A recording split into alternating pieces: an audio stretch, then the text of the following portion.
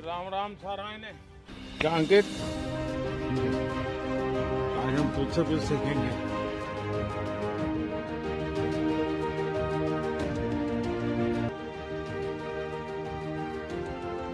Fitness के लिए आप इतनी मेहनत करते हैं उसमें ये स्वच्छता अभियान कैसे मदद करेगा? वातावरण को स्वस्थ रखना तो हमारा कर्तव्य है।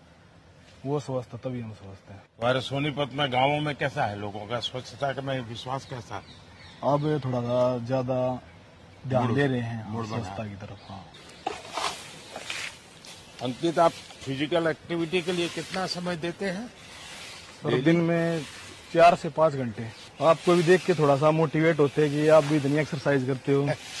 मैं ज़्यादा एक्सरसाइज नहीं करता लेकिन रोज़मर्रा की ज़िंदगी के लिए जितना चाहिए।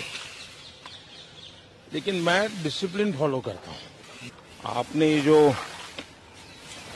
सोशल मीडिया का कैसे पॉजिटिव उपयोग होता है ये परफेक्ट एग्ज़ाम्पल आपने दिया है।